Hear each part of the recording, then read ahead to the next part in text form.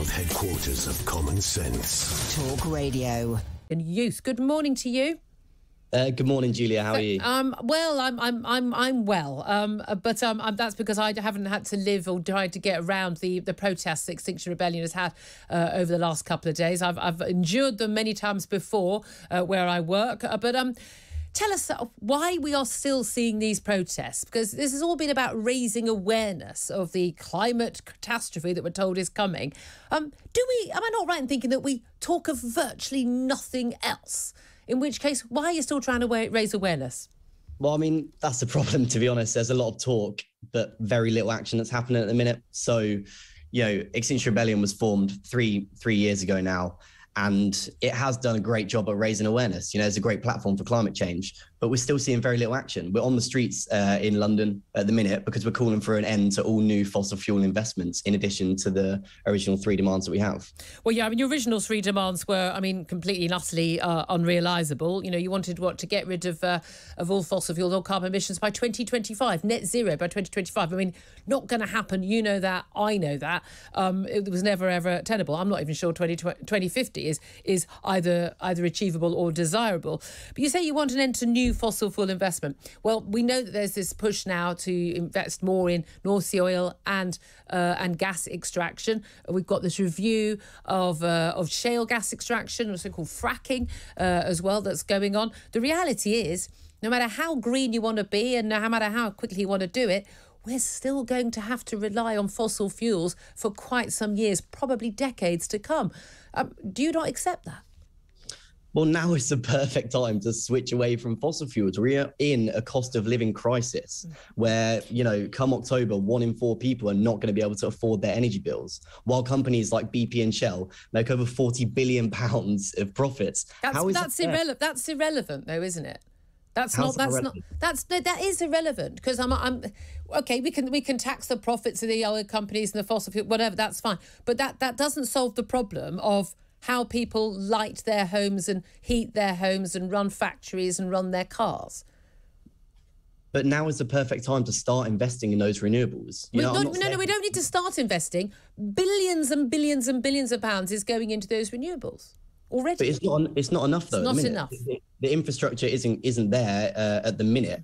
Um, but we need an emergency response because we are in a climate emergency, and we need that transition to start today, and we need it to be as quick as I possible. don't, I don't accept the idea that we are in an emergency. We need an emergency response to that. We need an emergency response to lots of other things. But, but even if we had, even if we did everything that you wanted, and we absolutely moved to, you know, literally as fast as we can, move to all renewables. Everyone, you know, electric cars or even no cars. I think that's probably what you'd want. Um, and and and entirely renewable energy. A, it wouldn't be reliable because we haven't got the battery storage right now, and not going to have that for decades to come. Um, and B, we'd all be living in the cold and the dark for quite a few years, if until if and when that happened.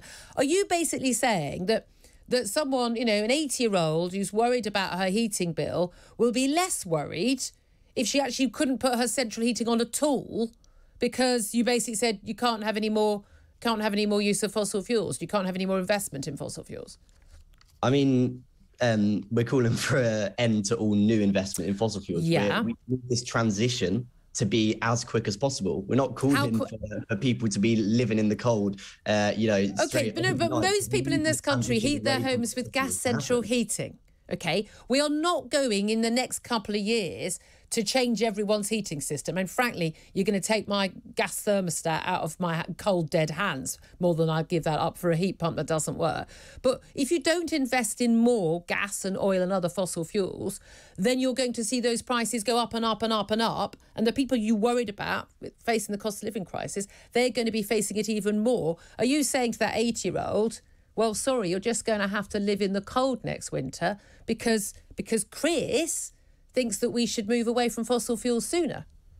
But as those prices of oil goes up and up and up, the prices of the sustainable green energy needs to come down and down and down. The International Energy Agency, you know, the more conservative of you know intergovernmental uh, organizations, said that in order to reach 1.5 degrees, and I quote, from today, no investment in new fossil fuel supply projects. We are in a climate emergency. We need an emergency response. Okay, again, keep saying that. I mean, you know, you can put it on a t-shirt all you want. It doesn't make it true. But I'm but I'm saying even if we have the emergency response, even if you cut the renewable cost, even if you did all of that, you would still have millions upon millions, tens of millions of people in this country and elsewhere who would be reliant on fossil fuels. And those prices would go up if we didn't have more investment.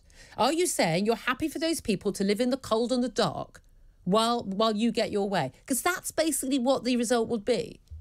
Uh, no, no, we're No, not. And you're said- not saying that. we- so how we- are they going to be heating their quick- homes? We're calling for a quick transition. I'm interested, Julia, in uh, why you think there's not an emergency, a climate Obviously, emergency. I would answer that, except we are short on time, and we've had this conversation so many times um, that I'm, I'm just, I, ju- I think it would just be boring for my listeners. But I'm happy to get you on another time where we've got more time to discuss that I- if you I'm want. just- but honestly, I'd like to discuss. listen I'd, to the I'd like to discuss. on climate I'd- change? No, okay. I'd like to discuss though. You've got these protests. You're raising awareness. You want us to move away from new fossil fuels.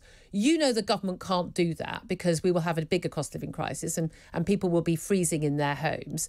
Um, and yet you're causing disruption on the roads to ordinary people going about their daily lives. Well, what is the purpose of all of this? the, the purpose is to call for an end to all new investment in fossil fuel projects. But the, the fact of the matter is, the disruption caused at the minute is just a scratch on the disruption that is going to be caused through climate change. I mean, you would have seen the, the videos of floods ripping through people's houses in Germany the other year. You- do you know- you know why there were floods their- in their Germany? They- they didn't- from from wildfires. This, Th- but th- this, I'm sorry, right this is well. just this is just nonsense. They weren't London. caused by climate change, either of those things. Why do you think that? I don't think it. I know it because I actually look at facts rather than just chanting T-shirt slogans. What what facts do you look at? The actual facts, which are. Why don't tell you what? Before we speak again, you go away and look at the reasons why we had flooding in Germany, and look at the reasons why we've had wildfires. Which, by the way, we have every year in every country. I'm, in every I'm, I'm, I'm willing to have that conversation with you now, Julia. I've, No, I've, I've, well, the thing is, I've got two more guests to get to before nine o'clock, so I can't have that full conversation now. Can we just go back to is it fair for people like you, because you feel strongly about something, to impose your views, your demands, your, I would say, paranoia about the world's going to end, catastrophe, etc., etc., on other people, just trying to go about their daily lives, earning a living, getting to and from work, visiting family, having a nice day out on a weekend? I mean, is, why is it why is it justifiable for you to impose your views on those people? I mean, Extinction Rebellion's main demand is to set up a citizens' assembly. That's not setting up our. We have a citizens' assembly. It's called the House of Commons. But but you know, I think it's over two thirds of the British public put climate change as one of their top priorities. No, But they- they all- they all do Our when they're asked in a system is poll. broken. Our political system is broken because MPs have interests that are pulling them from side to side. They're not accurately representing their constituents' views. But the citizens' assembly would. needed to upgrade democracy. Yes, you take a sample size of the, the population Mm-hmm. uh, that's you know representative of the wider population that then uh, you know deliberate amongst each other. They hear from experts. They choose Well- um, you know the the way that we should be going. Yeah, And I mean that's that's to- to kind have of what we kind of what we do is we elect MPs in our democracy to do that, and then and and, and as we saw, not representing the British public at all, they decided to vote for a 2050 net zero campaign. But there we are. We probably share some of the same issues about MPs not representing people. We will leave it there. But Chris, do come on again. I promise I would love to talk to you again when we got more time. Uh, that is Chris. I don't have his surname. It wasn't supplied. He's a spokesman for Extinction Rebellion Youth. Good talk. Hot talk. Bold talk. Talk radio. Listen on your smart speaker. Watch it live on your smart TV. The world headquarters of common sense. Talk Radio.